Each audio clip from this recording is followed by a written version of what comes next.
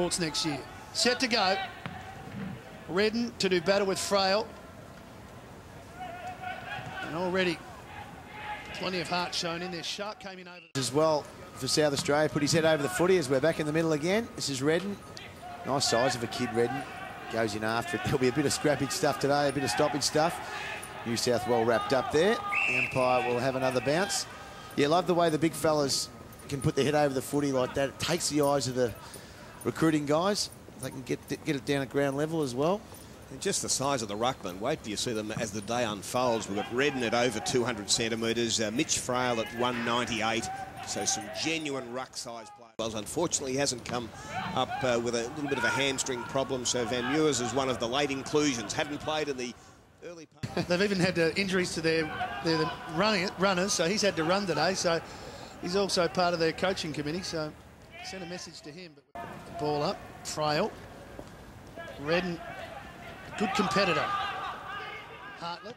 Program the AFL introduced uh, that has more than 50 players from 15 years of age through to 8. Hails from Henley. Popular beach in South Australia. Redden back in the ruck. I like the way Redden goes back for his second effort. You know, he's a tall man, as you mentioned, Kevin, but geez, he looks for the ball. He looks for his own clearance. Yeah, an aggressive big fella. Had his best game, I think, at the weekend uh, against uh, Vic Country. Just grown with the environment and the, the challenge of playing against the best. I know he had been crook.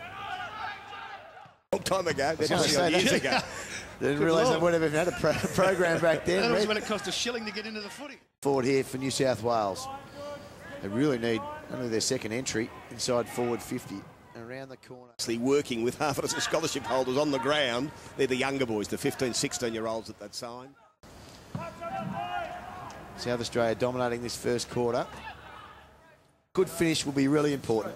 33 points is the margin as we get the second quarter underway. The bounce favours Frail, who tries to knock it down to Reed, and umpire go bouncing again. Redden. And they've got quite a lot of options up forward, haven't they, with uh, Hines and Johnson, Schoenmakers. They've got some size and. Their skills are good, aren't they? They- So they're, uh, if you've got forward-running players, they're not missing their targets, so they're making the most of them. It's probably the end of your day, really. Yeah, that looks like the end of uh, McNeil's carnival. Stanley doing his best impression of a soccer wall. But Tapscott's got three goals. Pace, yes, he can run the lines, but he was one that wasn't picked. Played for SA. Opening a couple of minutes of the third quarter. They've doubled their score and they've kicked the last three goals of the game. Redden with the clearance for South Australia. Must be some physical attributes uh, that need to be tested as well as obviously the mental capacity to actually get up and do it. Last quarter for the Carnival in this round robin. Game five for Australia. He wouldn't want a repeat of the third quarter performance. Now they were out hunted in that quarter. They were, weren't they? Leading scorer on the ground at the moment. South Australia out to a 50-point lead. Return to the centre of the ground.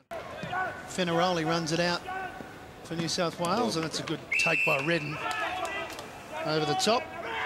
202 centimetres. Big red. Through the middle. Reed. Long ball. Redden again in the best spot, and some good talking. Told him he had to go for it, and he did. Jarrad Redden. Kicks to the true centre half forward position. That was a good mark. Clever mark by Hall. He's got that you could see him. He got through in the 30s, I think, in the draft that year. So there was enough indication.